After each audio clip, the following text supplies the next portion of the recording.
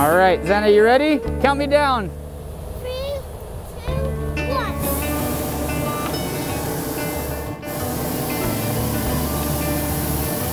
We're moving. We're moving. We're flying.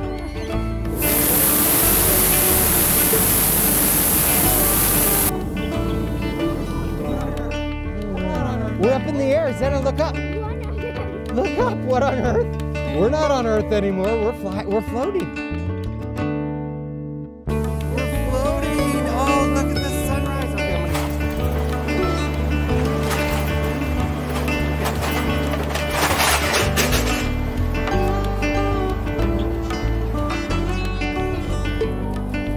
Aurora traffic, two hot air balloons, uh, north end of the runway at 200 feet, heading south, uh, going up to about 500 feet and heading south. Okay, hot air balloon, uh, departure jet traffic will also be southbound. We'll be looking for you.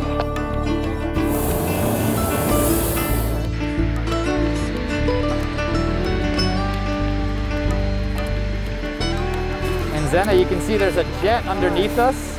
It's driving by. You'll see it in a minute. You can probably hear it. There's a jet. Yeah. Whoa. There's a little private We're going jet. over an airplane. And uh, it'll take off underneath us in a little bit.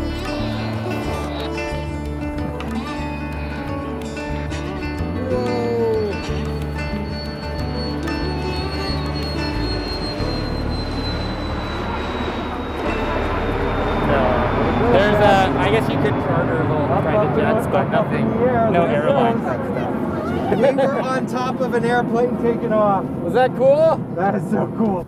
So how do you get it to go? I know how you get it to go up. How do you get it to go in a direction? Uh, so we go wherever the winds are going. Um, and so we use kind of the varying altitude or the varying wind directions and wind speeds at different altitudes.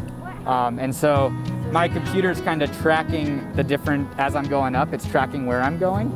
And so I can use those. So say up high, it's going more to the east and down low more to the west.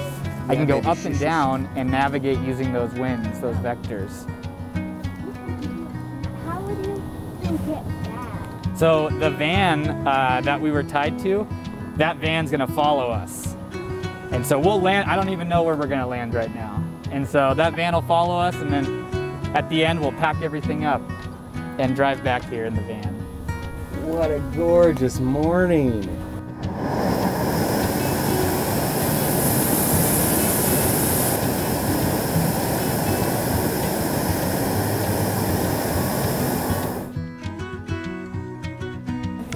These are all hazelnuts out here. Yep, and so these are kind of all varying degrees of maturity. Those are just planted. Are we gonna land on that hill? No, we're gonna keep going. We're gonna yeah. cruise right over the top, huh? Yeah, so we're just kind of playing in the winds.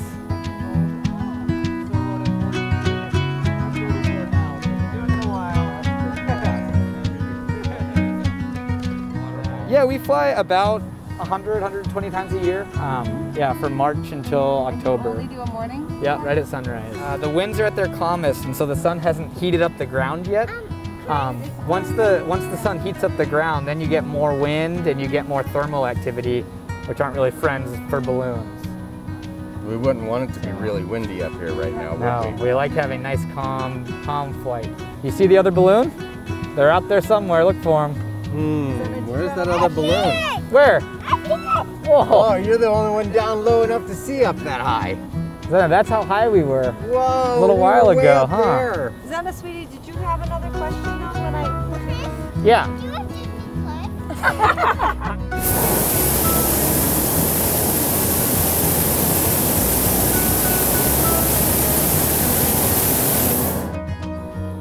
Not a bad way to travel. it's not the most efficient way to travel, Right. but Burn a lot of propane. How much do you go through? probably about 30, 40 gallons in, 30 or in 40 an hour. in the? Yeah. Yeah. Uh, it's all dependent on the temperature outside and how much weight we have in the balloon as well. I'm looking at these fields over here, past these trees. That's what I was I was listening Checking to those your out. chatter, the crew's yeah. just over on this road over here. So we'll see when I get over there what it is.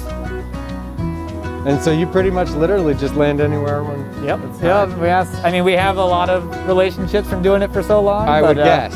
Yeah. Yeah. But you never know when And you meet somebody new. Yeah. Every flight is different, which is Right. is cool. The winds have welcomed you with softness. The sun has blessed you with its warm hands.